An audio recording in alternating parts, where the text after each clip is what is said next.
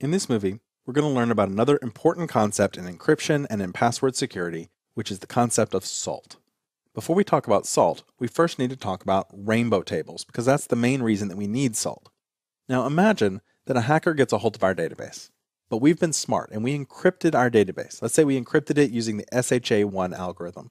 So those are now all encrypted and you cannot tell what the plaintext password was. Ah, but the hacker can take one of those values and then have a little program that just runs and tries every single value possible. Every word in the dictionary, every combination of letters and numbers, tries everything possible looking for a result of the SHA-1 hashing algorithm that matches your result. And if he can generate a result that matches, then he will know what the input was. He'll know what the original password was. So you may be thinking, well, that's going to take a long time, right? I mean, to try every single word, every single password, computers are fast, but that's still going to take a very long time. Ah, but what if we pre-compute those values? What if we go ahead and try every combination and store the result of that in a database or in a table so that we can look it up? So for example, if our password is secret, we encrypt it with SHA-1, and then the result that we store in our database is E5, E9, FA1B, and so on. Well, if the hacker ahead of time has created these rainbow tables, he will have tried secret, passed it into the SHA1 hash, and will have gotten the same result. So look at our database and he'll see, ah, E5, E9, FA1. Let me look that up in my rainbow tables. Ah, that corresponds to secret. And voila, just like that, he can use these pre-computed tables to immediately know what the password is. That's the reason why we use salt. Salt is going to add additional data to the password before encryption. So for example, a very simple salt would be to do something like this. Put salt on the password. So now it's not just the password anymore. It has some other string with it as well. Now, in order to know the password, means you also have to know the salt string.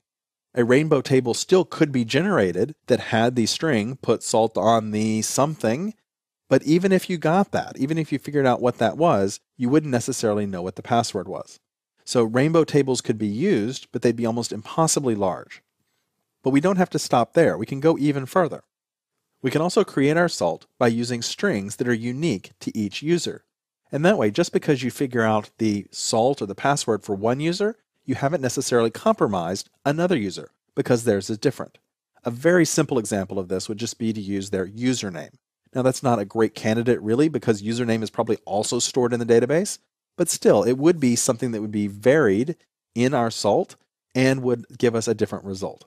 So now, knowing the password requires knowing the salt string and knowing that user string, and also knowing how it's used in the salt as well.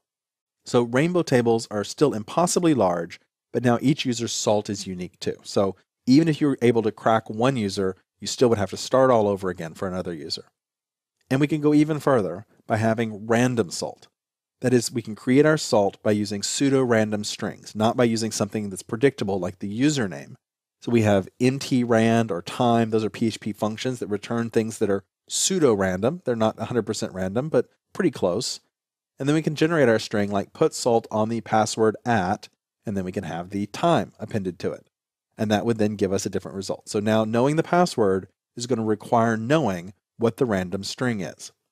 Rainbow tables become completely useless as each user's hash is almost random, almost unique.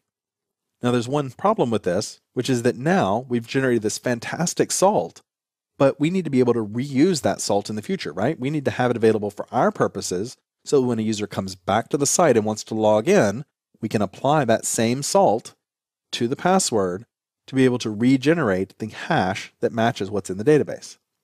So we'll need to store our salt in the database.